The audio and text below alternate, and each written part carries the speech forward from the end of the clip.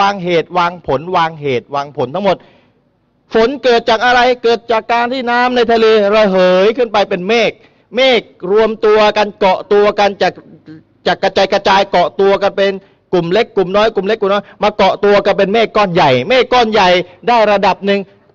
ตกมาหยดมาเป็นน้ำฝน นี่คือเหตุผลเหตุผลเหตุผลเหตุผลเนี่ยคนพูดเขาชอบอ้าง แต่คำถามคือไอ้ขั้นตอนเหล่านี้เนี่ยใครเป็นผู้วาง ผมเคยท้าคนคนที่ปฏิเสธพระเจ้านะ ช่วยหามาให้ผมหน่อย ว่ามีระบบที่ซับซ้อนอย่างสุดๆ แต่ไม่มีผู้วางระบบไปหามา มีสักที่ไหมบนโลกเนี่ยโอ้ เราไปสถานที่แห่งนั้นโรงผลิตรถยนต์ มี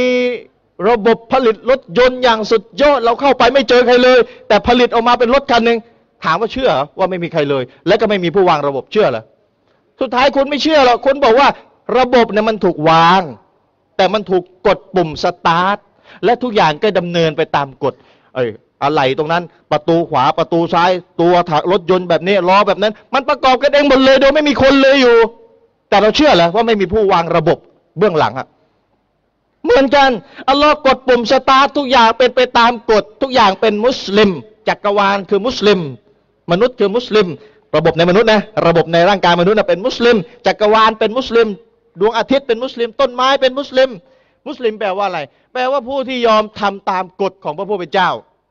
เพราะฉะนั้นร่างกายมนุษย์ หัวใจปั๊มเลือด สูบฉีดโลหิตไม่หยุดไม่หย่อนเป็นมุสลิม เพราะอัลลอฮ์วางกฎมันเป็นแบบนี้ มันเป็นมุสลิมมันยอมทำตามที่อัลลอฮ์กำหนด เพราะฉะนั้นเป็นไปไม่ได้ที่จะมีระบบแต่ไม่มีผู้วางระบบเป็นไปไม่ได้